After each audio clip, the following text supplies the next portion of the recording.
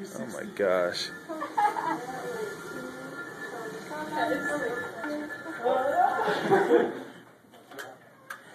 All right. You guys are making me nervous.